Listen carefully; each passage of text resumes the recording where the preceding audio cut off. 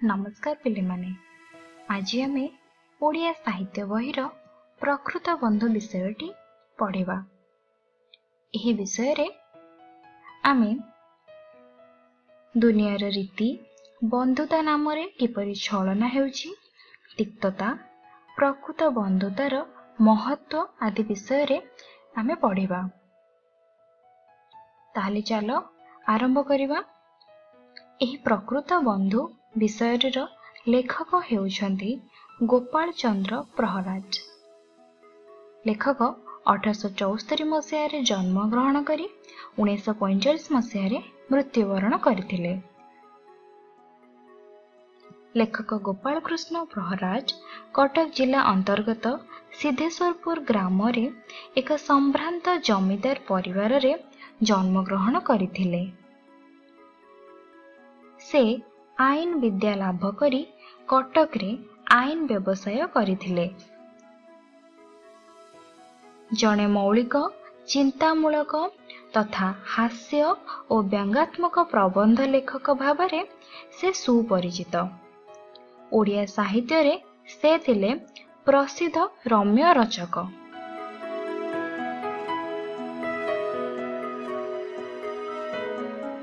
ପୂର୍ଣ୍ଣଚନ୍ଦ୍ର ଓଡ଼ିଆ ଭାଷାକୋଷ ତାଙ୍କ ପ୍ରତିଭାର ଏକ କାଳଜୟୀ ନିଦର୍ଶନ।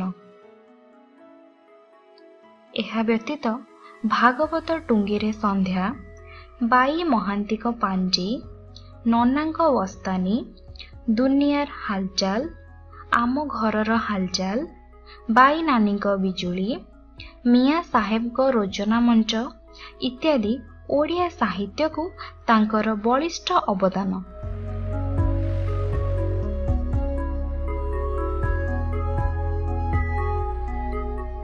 ଲେଖକଙ୍କର ଏହି ପ୍ରକୃତ ବନ୍ଧୁ ତାଙ୍କର ଭଞ୍ଜ ପ୍ରଦୀପ ଏଗାରଶହ ବର୍ଷ ପ୍ରଥମ ସଂଖ୍ୟାରେ ପ୍ରକାଶିତ ଦୁନିଆ ରୀତି ପ୍ରବନ୍ଧରୁ ସଂକଳିତ। ଏହି ପ୍ରବନ୍ଧରେ ଲେଖକ ଦୁନିଆର ରୀତି ବନ୍ଧୁତା ନାମରେ ଛଳନା ତିକ୍ତତା ପ୍ରକୃତ ବନ୍ଧୁତାର ମହତ୍ଵ ଆଦି ବହୁତ ଭଲ ଭାବରେ ବା ଚମତ୍କାର ଭାବରେ ବର୍ଣ୍ଣନା କରିଛନ୍ତି। ବର୍ତ୍ତମାନ ଆମେ ପ୍ରକୃତ ବନ୍ଧୁ ଏହି ବିଷୟଟି ଆରମ୍ଭ କରିବା। ଏଠାରେ ଲେଖକ ଲେଖିଛନ୍ତି ମୋ ଜୀବନର ପ୍ରଥମ ଦଶ ବର୍ଷ ଅଣହେଜ ଅବସ୍ଥାରେ ବିତିଲା। ତାପରେ ମୋ ହେତୁ ପାଇବା ଦିନରୁ ଆଜିକୁ ସତାବନ ବର୍ଷ ହେଲା ମୁଁ ଦୁନିଆରେ ନାନା କ୍ଷେତ୍ରରେ ନାନା ପ୍ରସଙ୍ଗ ନାନା ଅବସ୍ଥାରେ ନାନା ସ୍ଥାନରେ ନାନା ପ୍ରକାରେ ଠେକିଛି କିନ୍ତୁ ଠେକିକରି ମଧ୍ୟ ଶିଖିନାହିଁ ଏହା ହିଁ ଗଭୀର ଆପେକ୍ଷର ବିଷୟ। ଏଠାରେ ଆମେ କିଛି କଠିନ ଶବ୍ଦ ଦେଖିବା। ଅଣହେଜ ଏହାର ଅର୍ଥ ହେଉଛି ସ୍ମରଣ ନ କରିବା। ଠେକିଛି ଏହାର ଅର୍ଥ ହେଉଛି ଅନୁଭୂତିରୁ ଶିଖିବା। ହେତୁ ପାଇବା ଏହାର ଅର୍ଥ ହେଉଛି ଜାଣିବା। ଲେଖକ ପୁଣି ଲେଖିଛନ୍ତି ଏ ଦୀର୍ଘ କାଳ ମଧ୍ୟରେ ଜନ୍ମତଃ ବିବାହତଃ ସମାଜତଃ ସଂସାରତଃ ସାହିତ୍ୟିକ ଏପରି ଅନେକ ବହୁ ସହସ୍ର ବ୍ୟକ୍ତିଙ୍କ ସଙ୍ଗେ ସଙ୍ଗେ ମୋର ସାପ୍ତପଦିନ ଆଳାପ ପରିଚୟ ହୋଇଅଛି।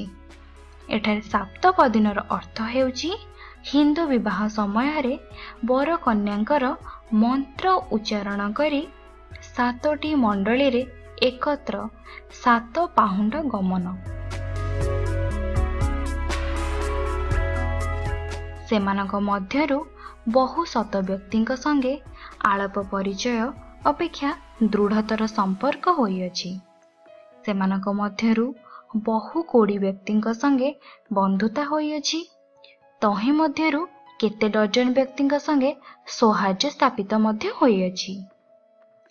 ଏ କେତେ ଡଜନଙ୍କ ମଧ୍ୟରେ ମହାପ୍ରସାଦ ବନ୍ଧୁ ବା ପ୍ରୀତିବନ୍ଧୁ ସଗୋତ୍ର ଓ ଅସଗୋତ୍ର ବନ୍ଧୁ ସପିଣ୍ଡ ଓ ଅସପିଣ୍ଡ ବନ୍ଧୁ ସମାନୋଦକ ଓ ଅସମାନୋଦକ ବନ୍ଧୁ ସମାନୁଭୂତି ଓ ଅସମାନୁଭୂତି ବନ୍ଧୁ ସମପକ୍ଷ ଓ ଅସମପକ୍ଷ ବନ୍ଧୁ ଅଛନ୍ତି ବର୍ତ୍ତମାନ ଆମେ କିଛି କଠିନ ଶବ୍ଦ ଜାଣିନେବା ଏଠାରେ ସଗୋତ୍ରର ଅର୍ଥ ହେଉଛି ସମାନ ଗୋତ୍ର ଠିକ୍ ସେହିପରି ସମାନ ଦୋକର ଅର୍ଥ ହେଉଛି ଚଉଦ ପୁରୁଷ ପର୍ଯ୍ୟନ୍ତ ଜ୍ଞାତି କୁଟୁମ୍ବ।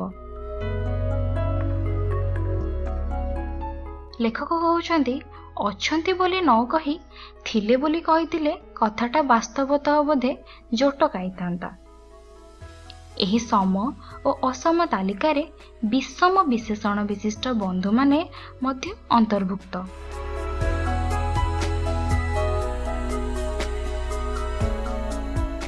ଏ ବନ୍ଧୁମାନଙ୍କ ସଙ୍ଗେ ସମ୍ପର୍କ ଅଭିଭାଷଣ ପୂର୍ବ ସାପ୍ତପ ଦିନଠାରୁ ଆରମ୍ଭ କରି କରମର୍ଦ୍ଦନ ଅଙ୍ଗମର୍ଦ୍ଦନ କାଗଜ କଲମ ସମାଲୋଚନ ଡାକଘର ଜରିଆରେ money order gramophone talkie cinema ପୁସ୍ତକ ଆଦିରେ ମୁଦ୍ରଣ ସମାଜନ ପ୍ରକାଶ ଓ ପ୍ରଚାର ଦ୍ୱାରା ଘଟିଅଛି ଓ ଘଟିଥିଲା।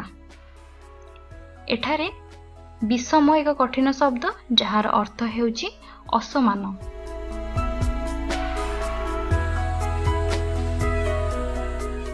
ଏମାନଙ୍କ ଛଡ଼ା ଉତ୍ସବେ ବେସନେ ଚୈବ ଦୁର୍ଭିକେ ରାଷ୍ଟ୍ର ବିପ୍ଳବେ ରାଜଦ୍ୱାରେ ଶ୍ମଶାନେ ଚ ଜହ ତିଷ୍ଠତି ସ ବାନ୍ଧବ ଏହି ଉକ୍ତି ଅନୁସାରେ ଗୁଡ଼ାଏ ବାନ୍ଧବ ମଧ୍ୟ ଲେଖକଙ୍କୁ ଜୁଟିଲେ। ଏଠାରେ କଠିନ ଶବ୍ଦ ରାଷ୍ଟ୍ର ବିପ୍ଳବର ଅର୍ଥ ହେଉଛି ଦେଶରେ ଆନ୍ଦୋଳନ।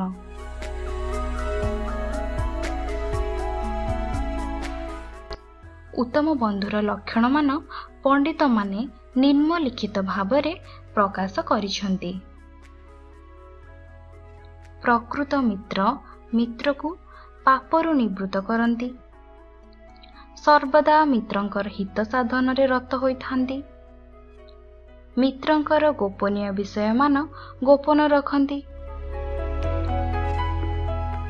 ମିତ୍ରଙ୍କର ଅପ୍ରକଟିତ ଗୁଣମାନଙ୍କୁ ପ୍ରକଟିତ କରନ୍ତି।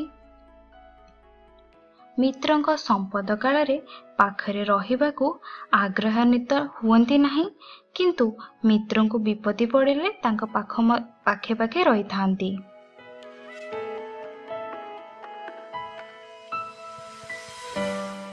ଲେଖକ କହିଛନ୍ତି ଏହି କଷଟିରେ ମୋର ଗତ ସତାବନ ବର୍ଷରେ ଅର୍ଜିତ ବନ୍ଧୁମାନଙ୍କ ବନ୍ଧୁତ୍ୱକୁ ପରୀକ୍ଷା କଲାବେଳକୁ ପୁଞ୍ଜିଏ ଖଣ୍ଡେ ଖାଣ୍ଟି ବନ୍ଧୁ ଧରା ପଡ଼ିଲେ ନାହିଁ।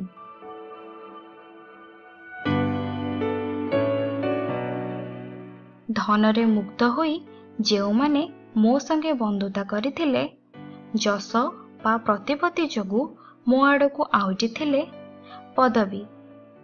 ହେତୁ ଯେ ମୋ ସାଙ୍ଗେ ବନ୍ଧୁତାର ସୂତ୍ରପାତ କରିଥିଲେ ଓ ମୋ ଦ୍ୱାରା ତାଙ୍କର ଉପସ୍ଥିତ ବା ଭବିଷ୍ୟତ କାର୍ଯ୍ୟ ସାଧିତ ହେବା ପାଇଁ ସେ ମୋ ସଙ୍ଗେ ବନ୍ଧୁତା ଡୋରି ଲଗାଇଥିଲେ ଓ ଯାହାଙ୍କ ମଧ୍ୟରୁ ଅଧିକାଂଶ ମୋ ମୁଣ୍ଡରେ ନଡ଼ିଆ ଭାଙ୍ଗି ଉଖୁଡ଼ା ଖାଉଥିଲେ।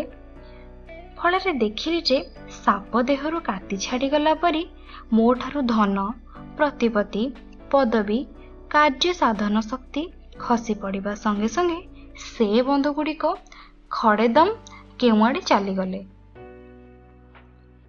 ବର୍ତ୍ତମାନ ଆମେ କିଛି କଠିନ ଶବ୍ଦ ଦେଖିବା ଏଠାରେ ପ୍ରତିପତ୍ତିର ଅର୍ଥ ହେଉଛି ପ୍ରତିଷ୍ଠା। ଖଡ଼େଦମ୍ର ଅର୍ଥ ହେଉଛି ସମ୍ପୂର୍ଣ୍ଣ ଭାବରେ। ଏହି ବିଷୟରେ ଆମେ ଏହି ପର୍ଯ୍ୟନ୍ତ ଶିଖିଲେ ପ୍ରକୃତ ବନ୍ଧୁର ଲକ୍ଷଣମାନ ପଣ୍ଡିତମାନେ କ'ଣ କ'ଣ ପ୍ରକାଶ କରିଛନ୍ତି? ପରବର୍ତ୍ତୀ ଅଧ୍ୟାୟରେ ଆମେ ଜାଣିବା ଦୁନିଆର ରୀତି ବନ୍ଧୁତା ନାମରେ ଛଳନା ତିକ୍ତତା ପ୍ରକୃତ ବନ୍ଧୁତାର ମହତ୍ଵ ବିଷୟରେ। ଆଶା କରୁଛି ତୁମମାନଙ୍କୁ ଏହି ବିଷୟଟି ଭଲ ଲାଗିଥିବ।